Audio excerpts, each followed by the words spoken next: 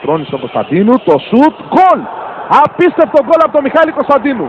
Που λίγο πριν από αυτό το σημείο προσπάθησε δύο φορές να νικήσει τον Γεωργίου στέλνοντας την μπάλα και τις δύο έξω και εδώ πετυχαίνει ένα εκπληκτικό γκολ στο 76.